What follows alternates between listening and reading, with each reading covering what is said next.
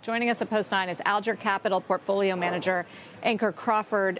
It's good to have you back. Welcome. Good to be here. And so, NVIDIA's second biggest weight in your capital appreciation fund behind Microsoft. After, after even just a week like this, what do you do? Do you leave that alone? Do you trim some? I think when you're so early on in a paradigm shift in a compute cycle, um, and you own the company that's the dominant compute platform, you leave it alone for now. May it pause and rest for a few months? Sure. It's been known to do that. It's done that many times before. But as long as the numbers keep going up, the multiple will keep going up. And you say we're so early on. How do you how do you determine where we are in all of this? It's really hard, but one can look the, the, the TAM and the opportunity for AI, for Gen AI, for a um, a time of parallel compute is it's just starting. And the opportunity, I mean, Jensen has described it as a trillion dollar installed base plus another trillion dollar of additional TAM in the market. So it's a very large TAM. I think it's hard for us to even imagine how big the TAM is, but it is very large. One of the things that stood out in the print last week is their adjusted operating margin close to 70%, yeah. and a lot of conjecture about how, how that can stand, right? How long that can exist before another company tries to come in with some product maybe almost as good and chip away at it. Yeah, so I think one of the things that I, is underappreciated is that a semiconductors have spent a decade, almost one and a half decades consolidating. And they've consolidated because it's really hard to do what they do. They have very, very deep moats. Um, secondly, if you look at NVIDIA and the pace at which they're innovating, it is unprecedented. We used to be on a kind of a two to four year cycle. Intel had a tick-tock cycle. Every two years, they had a new chip, um, a new architecture every four. NVIDIA's accelerated that to one. That's, that is incredible. So if they can stay on this innovation curve, it's going, to be very hard for the rest of the market to catch them. Semiconductor giant Nvidia shows no signs of slowing down, and on the heels of strong quarter one earnings and guidance, shares continue to hit new all-time highs. In fact, the stock continues to outpace even the most bullish of price targets set by Wall Street analysts. And Nvidia plans to stay on top. According to recent reports, NVIDIA is planning to adopt a new form of advanced packaging that will help reduce its reliance on CoWoS, which is a supply constraint for NVIDIA's AI chips.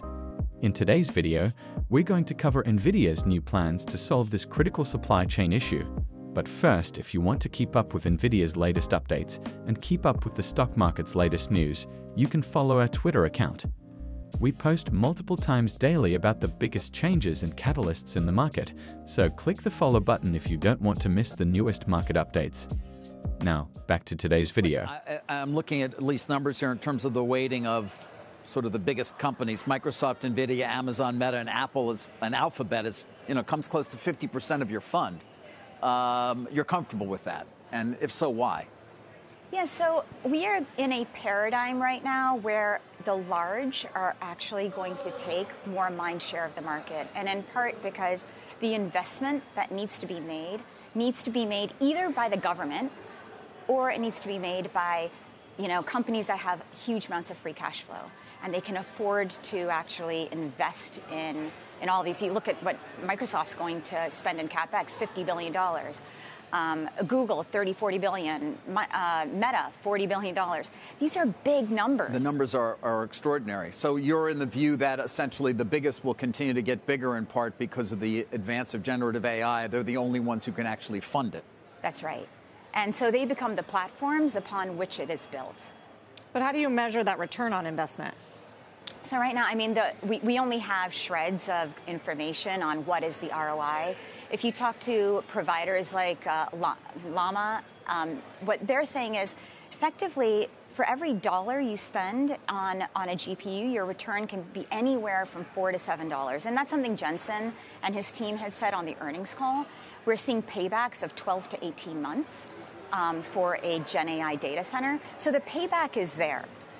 According to Taiwan's Economy News Daily, NVIDIA is interested in relying on panel-level fan-out packaging, commonly known as FOPLP, for the Blackwell chips.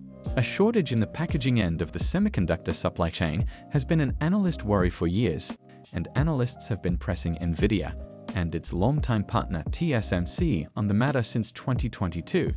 Industry insiders see FOPLP as a viable alternative to CoWoS due to TSMC's limited CoWoS capacity and the rising demand for AI chips driven by generative AI applications. In fact, a senior executive from China Wafer Level CSP stated that FOPLP could reduce costs and enhance capacity despite having weaker technical specifications than CoWoS due to a more extensive process size, according to the DigiTimes. This is incredible news for NVIDIA, as the company will be able to save money, boost its capacity, and get over an issue that it's been struggling with for a while, and that's TSMC's ability to supply it with the packaging it needs. NVIDIA investors might already know that TSMC is just barely meeting the current demand for this packaging method, never mind future demand, which is why the company announced plans to more than double CoWoS capacity by the end of 2024 last year. But as it turns out, just doubling capacity once won't be enough, and the world's largest contract maker of chips is going to have to keep scaling up at a rapid pace. In late May this year, TSMC announced plans to expand CoWoS capacity at a compound annual growth rate of over 60% till at least 2026. As a result, TSMC's CoWoS capacity will more than quadruple from 2023 levels by the end of that period. So it's very unlikely that NVIDIA will completely abandon its main supplier, as TSMC is doing everything it can to increase its capacity, but NVIDIA's openness to other options shows that the company knows it needs to diversify its supply chain in order to meet up with the explosive AI demand. In fact, the global AI market is expected to expand at a compound annual growth rate of 37% from 2023 to 2030, according to Markets and Markets, and NVIDIA could be the simplest way to profit from that secular boom. That is why we're going to walk you through reasons why we think NVIDIA stock is still a buy currently. Hello everyone, and welcome back to Investocracy. NVIDIA dominates the AI chip market, and this has helped earnings to climb in the triple digits in recent years. AI may be the hottest tech right now, and this could continue. After all, analysts say the AI market could be worth more than $1 trillion by the end of the decade. So it's no surprise that NVIDIA shares have skyrocketed, advancing 600% over the past three years. This momentum helped push NVIDIA shares to nearly $1,000 in recent times, and they actually surpassed that level after the company announced another blowout quarter, along with a move many investors had been hoping for, a stock split. This will significantly lower the price of each NVIDIA share. But the big question is, should investors buy the stock right now? Or wait until they can get shares at the lower price after the split? Let's find out. But first, if you made it this far into the video, thank you. These videos take a lot of effort and time to make, so if you enjoyed them, please hit the like button and subscribe to the channel. This goes a long way in helping us grow. That said, back to the video.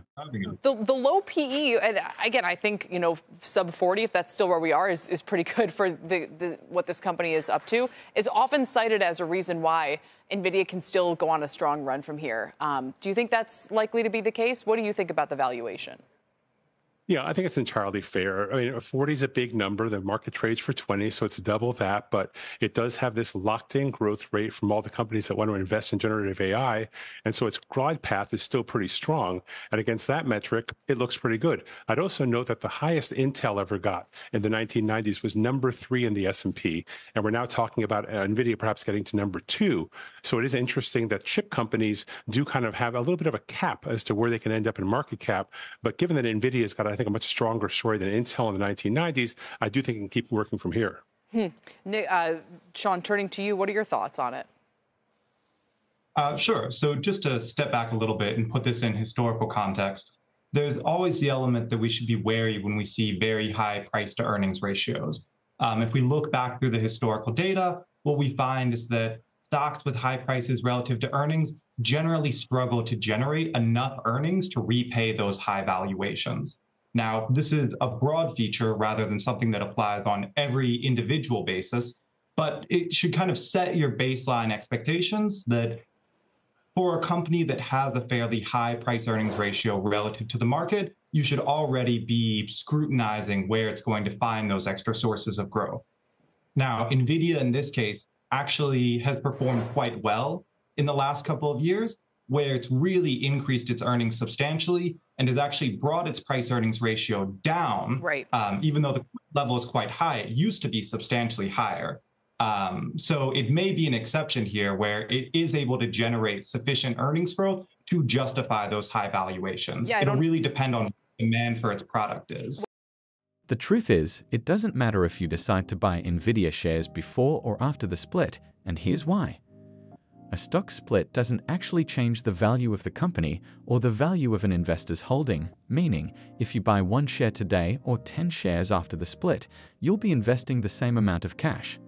Also, stock splits themselves aren't catalysts for share performance since they're just mechanical movements, so we can't really expect Nvidia shares to soar the day after the split because a split happened. Any potential gains, which could come either now or post-split, probably would be linked to the company's recent earnings performance or future growth prospects. If you want to bet on a current and future leader in the AI space, Nvidia makes an excellent buy, whether that's now or after the split. The company's GPUs are powering the key AI tasks of training and inferencing, and demand for NVIDIA's chips and systems is so high, the company says it's racing to keep up. On the other hand, NVIDIA is set to release its Blackwell architecture and most powerful chip ever later this year, and the company pledges to update its top-performing chips annually. This will make it very difficult for rivals to unseat this market leader. Though we all tend to look at a stock price and immediately think that's cheap or that's expensive, it's important to instead look at valuation or what the stock really is worth. Today, Nvidia trades at 42 times forward earnings estimates, which looks reasonable considering the company's market position and growth prospects. But what do you think about Nvidia stock? Is it a buy at the current price? Let us know your thoughts in the comment section, and don't forget to tell us what your valuation for Nvidia is. If you would like to know what companies like Nvidia have been up to these past few days, go ahead and click on the next video on your screen. See you there.